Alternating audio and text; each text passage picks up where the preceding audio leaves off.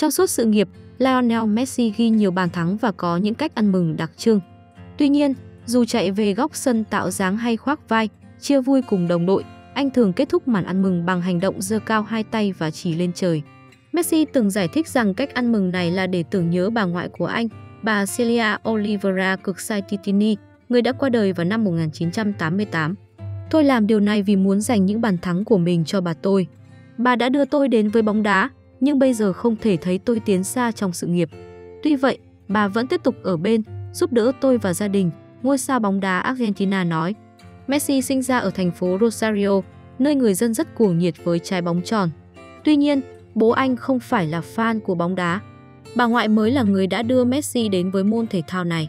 Messi kể rằng lúc còn nhỏ anh thường chơi bóng với các anh em họ, nhưng không thể tham gia câu lạc bộ nào ở địa phương vì chưa đủ tuổi. Lúc đó, một trong số các câu lạc bộ thiếu một cầu thủ và bà tôi đã nói với người quản lý hãy để tôi chơi. Người quản lý trả lời, làm sao chúng ta có thể cho nó chơi? Nó còn quá nhỏ. Mặc dù vậy, bà vẫn nhất quyết khẳng định tôi có thể chơi được. Vì bà rất được mọi người trong câu lạc bộ yêu quý nên cuối cùng tôi đã được nhận vào, anh kể. Trong giai đoạn đầu đến với bóng đá, Messi luôn được bà ngoại động viên, khích lệ. Bà thậm chí từng nói với cháu trai, Lionel, một ngày nào đó, cháu chắc chắn sẽ là cầu thủ bóng đá xuất sắc nhất thế giới.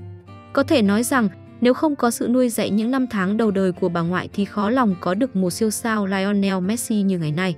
Nhạy bén phát hiện ra tài năng của cháu, luôn tin tưởng, đồng hành, tạo điều kiện tốt nhất để cháu có thể phát triển tài năng.